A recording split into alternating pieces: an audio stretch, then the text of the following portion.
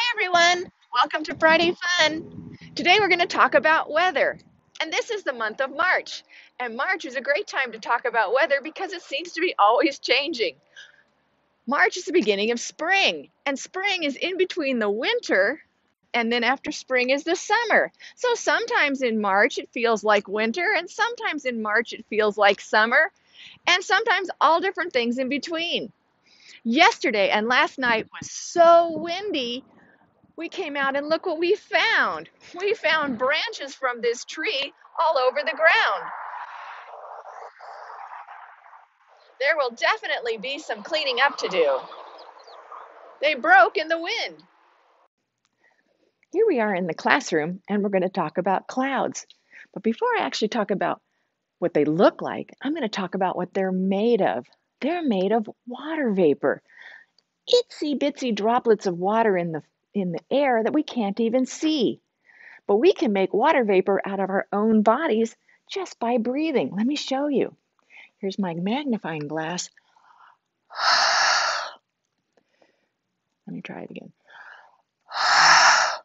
And you can see there's some water vapor that has come out of my mouth. Now, water vapor usually comes from the ocean or lake or river or even a small puddle on the sidewalk. And you'll know if you see a little puddle on the sidewalk and it's a sunny day and you come back a while later, the puddle's completely gone. That water has evaporated into the air and is rising. When it rises, that water vapor goes up in the air and way high in the sky, higher, you know, than the mountains, the the air begins to get colder and colder. So as that warm water vapor gets colder and colder, it forms clouds. Here's a picture that I have of some different kind of clouds. So there's some that are very low and close to the ground, some sort of in the middle. See, they're just as high as an airplane, and some that are super high. And the ones that are really high are made of ice crystals. And this great big thing over here, these are some puffy clouds that go up really high, and this is called a thunderhead. And would you get clouds that go this high, lightning, thunder, and hail because it's so cold up this high in the sky that water crystal or water they all get together and they make hail and fall to the ground. And we had hail this week too. Not here but in the nearby areas there was hail. So now we're going to talk about some different looking clouds. So if the ground is down here my table and this is the sky Sometimes we have clouds that are right on the ground. You're walking right through a cloud, and that's called fog. So, fog is like a, just a cloud that landed on the ground all the way across. You can walk right through it, but sometimes it's very difficult to see and it's not safe when you're driving and things. So, that's fog. But usually we have clouds that are a little bit higher. And sometimes we have clouds on a day we call overcast. And overcast is when the clouds might be a little heavy, kind of are very thick and they make a layer all the way across the sky, but usually not all the way onto the ground. So if we're going to have an overcast day, it's going to be a thick layer of clouds all the way across. And usually it's one pretty straight line on the bottom. They kind of stretch out to make nice long thickness of clouds. And maybe it's a band of clouds. Maybe it's like this all the way across. And they're pretty low and they keep the sun out. So those days we call overcast when we don't see the sun we know it's up there, but it's blocked by the clouds. And then other times we have clouds that are more puffy. And the puffy ones are just a little bit higher. And sometimes the puffy ones are sort of all by themselves, and other times they hook together to make a bigger puffy cloud. Now, all clouds are moved by wind. So if the wind is blowing the clouds will move across the sky. So we had some puffy clouds like this on Monday, and in some places, they even had thunderheads and hail. It was some crazy wild weather. And as we get higher in the sky, so we have the could be a foggy day where the clouds are on the ground, or it could be an overcast day where there's a layer of them blocking the sun. Or we could have some high clouds, just puffy cumulus clouds. And so far, all my clouds have been white. And when you have white clouds, then you're not expecting any rain. We know what color they have to be when you're going to get some rain. They turn darker, sometimes really dark gray. So as we get higher in the sky, some clouds started out like these puffy ones, but really thinned out, stretched out. So they're still a little bit like the puffy ones, but they're a little more open. And sometimes they can make layers like this.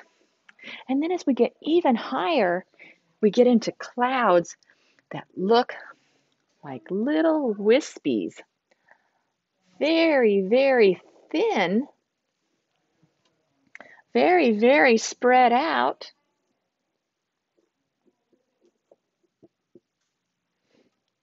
And these are the ones that are made of ice crystals. And the ones way up in the sky, we call them cirrus clouds. So we can have fog, we can have overcast, we can have puffy cumulus clouds, we can have cumulus clouds that are starting to break up, little feathery cirrus clouds on top. And it's fun to look at clouds. And when we look at clouds, what's really fun is to see what kind of shapes they have. So I'm looking at this right here, and this cloud has an interesting shape. It sort of looks like a teapot to me. Maybe if it had a a handle. Now it looks like a teapot, doesn't it? So when we look up at the sky and we see clouds, we can use our imagination and see what they look like. And also what's fun is the wind continues to blow and they're changing. So it might look like a teapot, teapot for a moment or two and then continue to change. And this will get longer and this will change or something like that. It may look something totally different. What does that look like now? Hmm. Miss Susan says it looks like a fish. Yeah, that could be the backside, and the fish could be eating something on this side. Here's the food. Our story for today is a really silly story. It's called Cloudy with a Chance of Meatballs. That does sound silly.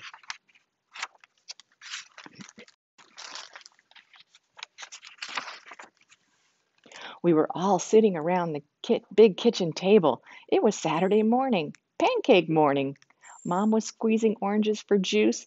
Henry and I were betting on how many pancakes we each could eat. And Grandpa was doing the flipping. See, he's doing the cooking. Seconds later, something flew through the air and headed toward the kitchen ceiling and landed right on Henry. After we realized that the flying object was only a pancake, we all laughed. Even Grandpa Breakfast continued quite uneventfully. All the other pancakes landed in the pan, and all of them were eaten, even the one that landed on Henry.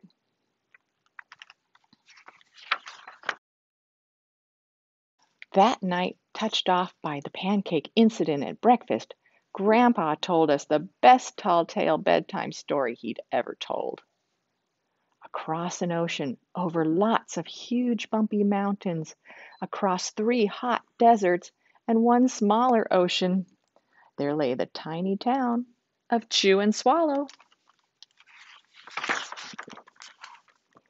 In most ways, it was very much like any other tiny town.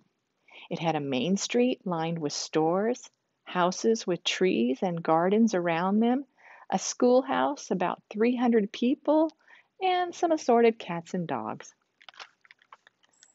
But there were no food stores in the town of Chew and Swallow. They didn't need any. The sky supplied all the food they could possibly want. The only thing that was really different about Chew and Swallow was its weather. It came three times a day at breakfast, lunch, and dinner. Everything that everyone ate came from the sky.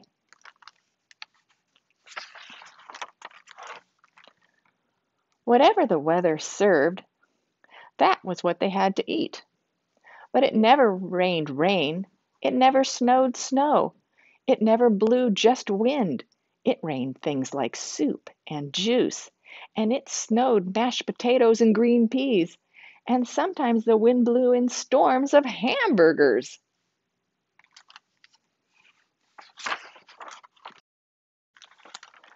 The people could watch the weather report on television in the morning, and they would even hear a prediction for the next day's food. When the townspeople went outside, they carried their plates, cups, glasses, forks, spoons, knives, and napkins with them. That way they would always be prepared for any kind of weather. If there were leftovers, and there usually were, people took them home and put them in their refrigerators in case they got hungry between meals.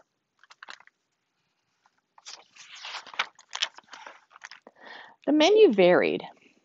By the time they woke up in the morning, breakfast was coming down. After a brief shower of orange juice, low clouds of sunny side up eggs moved in, followed by pieces of toast, butter and jelly sprinkled down on for the toast, and most of the time it rained milk afterwards. For lunch one day, frankfurters, already in their rolls, blew from the northeast at about five miles an hour. There were mustard clouds nearby. Then the wind shifted to the east and brought in baked beans. A drizzle of soda finished off the meal. Dinner one night consisted of lamb chops, becoming heavy at times with occasional ketchup. Periods of peas and baked potatoes were followed by a gradual clearing, with a wonderful jello setting in the west. The sanitation department of Chew and Swallow had a rather unusual job for a sanitation department. It had to remove the food that fell on the houses and the sidewalks and the lawns. The workers cleaned things up after every meal and fed all the dogs and cats. Then they emptied some of it into the surrounding oceans for the fish and turtles and whales to eat. The rest of the food was put back into the earth so that the soil would be richer for the people's flower gardens.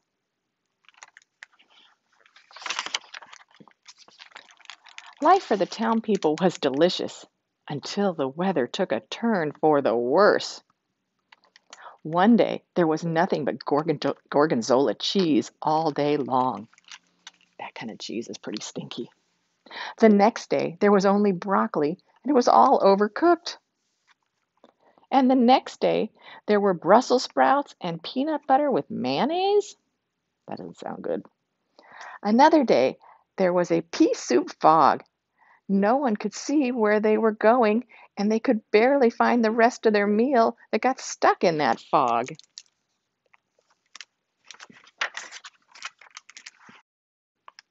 The food was getting larger and larger, and so were the portions.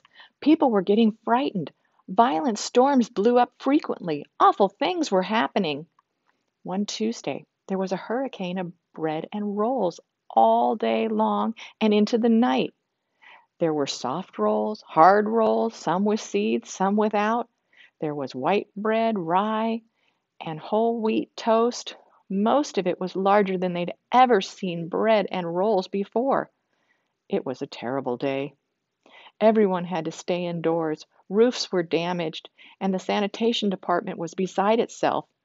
The mess took workers four days to clean up, and the sea was filled with floating rolls. To help out, the people piled up as much bread as they could in their backyards. The birds pecked at it a bit, but it just stayed there and got staler and staler. There was a storm of pancakes one morning, and the downpour of maple syrup that nearly flooded the town. A huge pancake covered the school. No one could get it off because of its weight, so they had to close the school. That's a big pancake. Lunch one day brought 15 inch drifts of cream cheese and jelly sandwiches. Everyone ate themselves sick, and the day ended with a stomach ache. There was an awful salt and pepper wind accompanied by an even worse tomato tornado. People were sneezing themselves silly and running to avoid the tomatoes. The town was a mess. There were seeds and pulp everywhere. The sanitation department gave up. Their job was too big. Everyone feared for their lives. They couldn't go outside most of the time. Many houses had been badly damaged by the giant meatballs. Stores were boarded up, and there was no more school for the children. So a decision was made to abandon the town of Chew and Swallow. It was a matter of survival. The people glued together the giant pieces of stale bread, sandwich style with peanut butter, took the absolute necessities with them, and set sail on their rafts for a new land.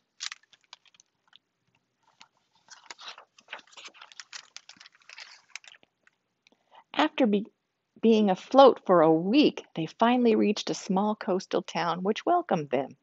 The bread held up surprisingly well, well enough for them to build temporary homes for themselves out of it. The children began school again, and the adults all tried to find the places for themselves in the new land. The biggest change they had to make was getting used to buying food at the supermarket. They found it odd that food was kept on shelves and packaged in boxes and cans and bottles. Meat that had to be cooked was kept in the large refrigerator. Nothing came from the sky except rain and snow. The clouds above their heads were not made of fried eggs. No one ever got hit by a hamburger again, and nobody dared go back to chew and swallow to find out what had happened to it. They were too afraid. Henry and I were awake until the very end of Grandpa's story. I remember his good night kiss. The next morning, we woke up to see snow falling outside our window. We ran downstairs for breakfast and ate it a little faster than usual so we could go sledding with Grandpa. It's funny, but even as we were sledding down the hill, we thought we saw a giant pat of butter at the top, and we could almost smell the mashed potatoes. See, looks kind of like mashed potatoes with butter on top. That's a fun story. So now we're going to go outside and we're going to look for some clouds. If you look over the fence and up above the hill, you can see some clouds. And those are low to the ground, aren't they? Those wispy clouds up there, those are made of ice crystals. They're really, really high in the sky. Look at these great clouds. These are sort of the cumulus clouds going a bit higher and coming apart. They're beautiful. Let's see, what do you think it looks like? I think that this one kind of looks like a bird beak at the end. Maybe it could be a hummingbird flying by. What do you think? There's even a little eye on it. And then if we look at the other ones, let's see if we can see any other shapes. Do you see anything that looks Oh, this one. I like this low one. That kind of looks like the big mouth of a dragon. What do you think? Do you see a little dra- a big mouth of a dragon? That's pretty cool. We can spend a lot of time looking at clouds and trying to figure out what they look like, and you can make up whatever you think it looks like. Clouds are super interesting. We walked out to the preserve and we wanted to show you the um, weather station. The pole behind me, behind the chain link fence, is our Madrona Marsh weather station. And up on the top is an anemometer. It measures the wind speed and the direction of the wind. And you can see we have just a little breeze going right now. Down the pole a little further, there's that black box, kind of a roundish box. And inside there, there's a rain gauge to tell us how much rain falls. There's a temperature gauge to tell us what the temperature is. There's another thing that tells us how intense the sun is and how quickly you can get sunburned. And other things that can tell you how much water vapor is in the air and how much air pressure we have. And all of that is taken and sent into the internet. And if you go to the Madrona Marsh website, there's a little green tab. It says Madrona Weather Station, and you press that, and you can find out what the weather is here at the marsh. And it's only about a three minute delay, so it's really right on time. And looking behind me up in the sky, remember the dragon? It looks now like the dragon ate the hummingbird because the hummingbird's gone. It's fun to look at the clouds. You can make anything you want. Also, there's some lines in the sky. Do you see those lines? Those are kind of like clouds. They're condensation trails made by airplanes. Airplanes have hot engines and they make steam coming out, and then the steam gets frozen because it's so high, so it makes it like a cloud that's like a line. That's pretty interesting. You can see those all the time. Today we have a beautiful sunny day, and when you have a beautiful sunny day, you have shadows. And some of the trees can make some very interesting shadows on the ground. You can see my shadow. See my hands? There's my shadow. And also very interesting is you can see the reflection on the water. Just like when you look in a mirror. You look carefully on the water, you can see the branches of the trees. You can see their reflection on the water. If it's a cloudy day, there won't be any reflection. It's beautiful.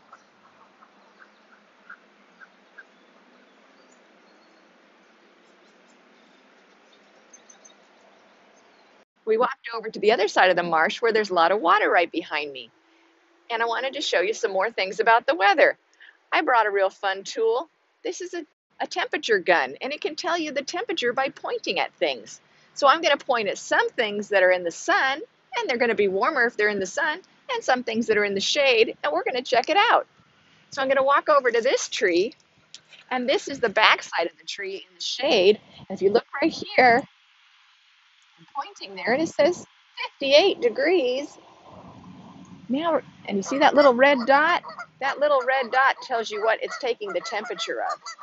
And as soon as my finger gets in there, it gets warmer, doesn't it? And my finger is, is more warm than the tree. So now we're going to go over to a sunnier spot and see if it's warmer. A little sun right here. And it says 78, 80 degrees, that 82, 81. That's a lot more. Do you remember what it was in the cold? So this one is 80, 81. It changes a little bit. Now let's go back to the shady one. So 80 is much bigger than 62 or 60, isn't it? That's a big difference just between the shade and the sun on the same kind of material. Now we're going to try the ground. Now find a sunny spot in the ground, and the ground here is wet. Here on the ground, I'll show my little gun, it says 77 or 78. Now we're going to walk over where the ground is dry and see if it's different. And we're going to put our little gun here. I'll try to get out of my own shadow. And it says 82. So it's just a little bit warmer where the ground is dry. That's because the land heats up faster than the water. Let's check the water. So we have 82 on the ground. Now we're going to try the water. And the water is saying 67 that's a lot less than 82. So water takes a lot longer to warm up, so it stays colder. Just like when you're at the beach and you're on the sand, the sand and the sun feels nice and warm, but then you get to the surf and the water, oh, it's very cold. So the land heats up faster than the water. We've come into the exhibit hall, our little museum, to demonstrate a very interesting thing about weather. So the sun shines from the sky and it warms up the ground. And as the ground warms, the air on the ground gets warmer, and warm air always rises. And that creates a lot of things in weather. Now, I want to demonstrate how that warm air rises. And what I have here, this is called a heat gun. This is a tool from my garage, and it gets very, very hot. And it doesn't work like a like a hair dryer because it doesn't blow very much. It just mostly puts out hot air. So we're going to fill my little parachute with some hot air and see how it rises. So I have to be very careful because this is a tool. Get the hot air going, and I'm going to fill up my my little parachute and make it really hot inside We're going to see if it'll go up. And there it goes. That's pretty fun. Hot air always rises. And that's so important because the air that's going up is warmer. And as it gets higher and higher, it gets cooler and cooler. Then it forms clouds. So I hope you enjoyed our lesson on weather and clouds today. We had so many different kinds of weather this week. Who knows what it's going to be like tomorrow? Hopefully, we'll have some more fun weather and you can go outside and look at some clouds. We got to see the weather station and we got to see some clouds and we got to see the reflection on the water, which was beautiful. And I'm going to show you a picture of a rainbow. This happened in my neighborhood.